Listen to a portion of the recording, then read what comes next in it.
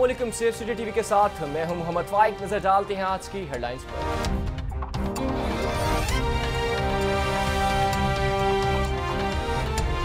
پنجاب حکومت کا public transport کے لیے الیکٹرک ہائیبریڈ بسیں چلانے کا اعلان۔ وزیر اعلیٰ پنجاب سردار عثمان بزدار کی تین سو بسیں خریدنے کی ہدایت۔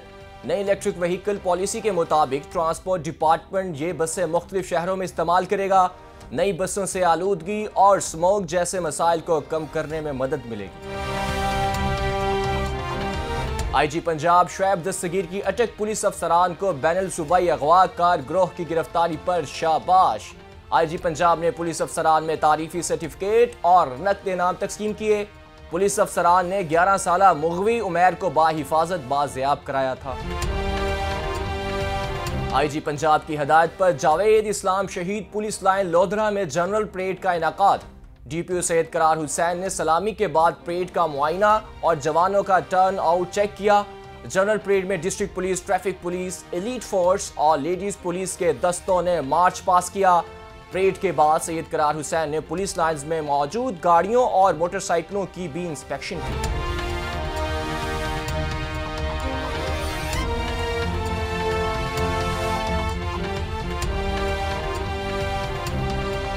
دو رکشہ ڈرائیور کی ون وے کی خلاف ورزی۔ موٹر سائیکل سوار کا کیا نقصان؟ قانون کی پاسداری میں ہی سب کی آفیت ہے۔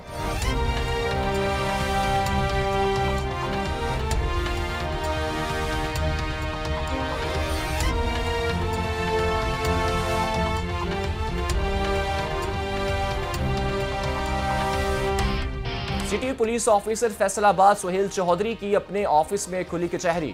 کوئی بھی شہری دفتری اوقات میں سٹی پولیس آفیسر سے بغیر سفارش بلا واسطہ ملاقات کر سکتا ہے۔ سی پی او سہیل چوہدری کا کہنا ہے کہ شہریوں کی شکایات اور مسائل موقع پر ہی حل کیے جائیں۔ پولیس کمیونیکیشن آفیسر نے ملتان سٹیڈیم سے گمشدہ بچہ والدین سے ملوا دیا۔ بچہ پی ایس ایل میچ کے دوران گم ہو گیا تھا۔ پولیس کمیونیکیشن آفیسر حسن نے پیرو فورس کے تعاون سے حمزہ ولد سنوبر علی کو تلاش کر کے والدین کے حوالے کر دیا۔ ڈی پی او سرگودہ امارہ تھر اور ڈی سی سرگودہ عبداللہ نیر شیخ کی طرف سے تھانہ جھال چکیاں میں کھلی کچہری کا انعقاد ڈی پی او سرگودہ کا کہنا ہے کہ یہاں آنے کا مقصد آپ کی شکایات اور مسائل کو سننا اور اس بارے تجاویز زیر غور لانا ہے۔ اس سے مسائل کی نشاندہی اور ان کو بر وقت حل کرنے میں بھی آسانی ہوتی ہے۔ آپ اور ہم مل کر ہی پر امن معاشرے کی تشکیل کر سکتے ہیں۔ ڈپٹی کمشنر عمران قریشی اور ڈی پی او سید قرار حسین کا سبزی اور فروٹ منڈی لودھرا کا دورہ۔ سبزیوں اور فروٹ کی قیمتوں کا جائزہ لیا اور نیلامی کے عمل کا باغور معائنہ کیا۔ ڈی پی او سید قرار حسین کا کہنا ہے کہ ضلع انتظامیہ عوام کو سہولیات کی فراہمی کے لیے کوشاں ہے پولیس گراں فروشی کے خلاف انتظامیہ کے ساتھ مل کر کام کر رہی ہے۔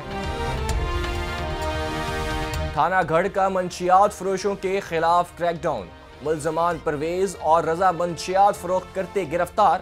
پندرہ سو گرام چرس اور ایک ہزار دو سو ستر روپے برامد تھانہ گھڑ میں مقدمہ درج تفتیش کا آغاز۔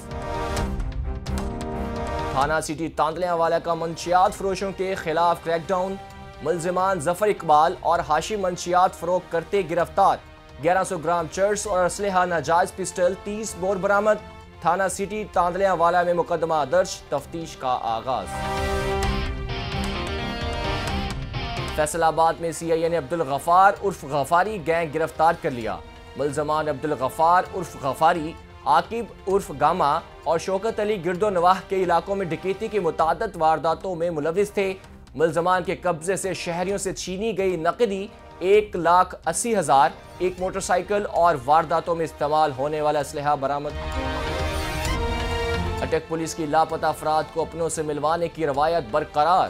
پولیس چوکی فقیر آباد کی ٹیم کو محمد ارشد نامی ایک بزرگ محلہ عزیز آباد تحصیل حضرو ضلع اٹک سے ملا۔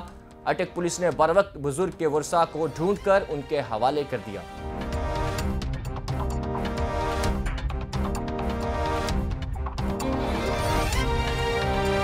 یہ تھی اب تک کی خبریں۔ مزید اپڈیٹس اور خبروں کے لیے وزٹ کیجیے ہماری ویب سائٹ www.psa.tv